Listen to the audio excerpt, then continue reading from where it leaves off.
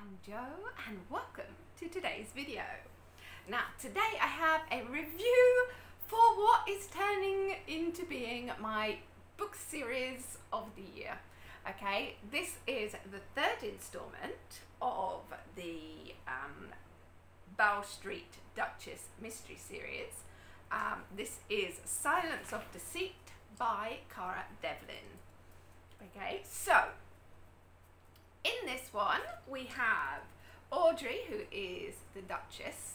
Um, she is back and pulled in to yet another murder mystery, um, which is she's going to solve with um, Hugh, who is our Bow Street officer, Hugh Marsden. Um, these two just keep getting thrown back together. Um, and I am here for it. I am loving it. I love, love, love the dynamic that is between them. Also, um, in this one, um, okay, I want to give a little spoiler, tiny little spoiler, okay, um, because this series is like a really slow, and I mean slow burn romance, okay, um, between Hugh and Audrey. Now, obviously, Audrey is married to the Duke. Um, if you have read the past books in the series, um, so this is your spoiler. So if you don't want any spoilers at all, turn away right now. Okay, so as we discovered in um, past books in the series, um, the Duke has some health issues. Okay, so that's we've learned a little bit more about that in this book as well. Okay, so I'm I am definitely seeing the setup of how it's going to be possible for Audrey and Hugh to get together in the future. Um, the sexual tension between the two of them is like off the charts. Um, but anyway, coming back to uh, this book. So anyway, yeah, I am going to read the rest of the books in the series and hopefully they will eventually get together. Okay, I'm pretty sure they're going to. So, and now I see how that's going to happen. So, there you go. Um, anyway, so this book.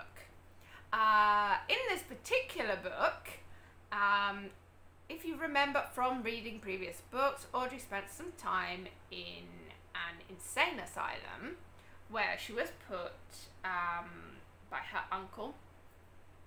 And um, in this one, we get to meet some other characters who spent time in the asylum with her. Okay, so now um, this was obviously due to her special gifts, the ones that she's been using to help Hugh uh, resolve the murder mysteries and things up until this point. Uh, and she's still using them. So there you go. Um, so in this one, a body turns up in the Thames, uh, which is so bloated from having been in the water and things that are unrecognizable by the face, but she is wearing one of Audrey's old dresses.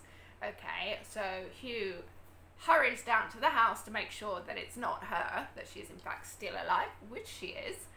Um, but this obviously pulls her into the investigation yet again because she has the connection to uh, what's going on. So, all this turns out that there is a link back to the time spent in the asylum together. I think now I don't want to give away any more spoilers than absolutely necessary. Um, but I am loving this series. I seriously I can't wait to get the next book. Now this one I bought a copy of this from Amazon because um, obviously if you checked out my reviews for books one and two, uh, the first one I got from NetGalley. I got an ARC copy of that. Um, I will link up my reviews for these for you. Um, the second one I got from Amazon and devoured it, absolutely loved it. This one, I was like, I was in a bit of a slump because I read a book and I was like, Nyeh.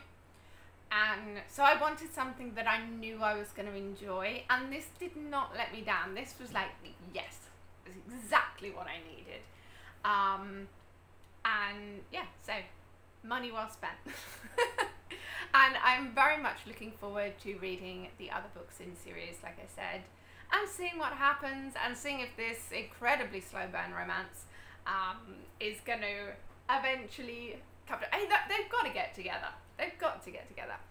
Um, but yeah, so I am. Um, this this is my favorite series that I've discovered this year, and possibly one of my favorite series ever. Actually, because it just it has all sorts of elements that I love.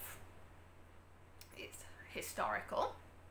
Um, it's romance. It's murder mystery. And so you've got the crimes that you need to solve and things. It has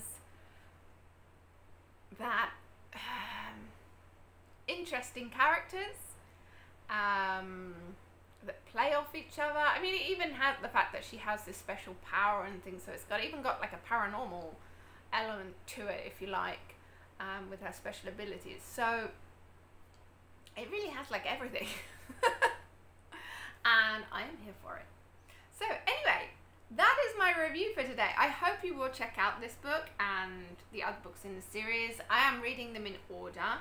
I mean, technically, in books two and three, they do give um, like the vital information that you need from the other two books to be able to read it as a standalone. I mean, it's doable doing that, but I think, um, as is the case with a lot of series, if you read them in order, then it really does add to it like so so much, so so much. Because also because you're more invested in the characters and things as well. So, um, yeah, my suggestion is if you haven't read the series yet, then although this is doable as a standalone, you will be missing out on so much if you start with this one. So start with the first book in the series and do them in order. You will not be disappointed. Um, anyway, that's it for today. Thanks for watching, and I will see you next time. Bye!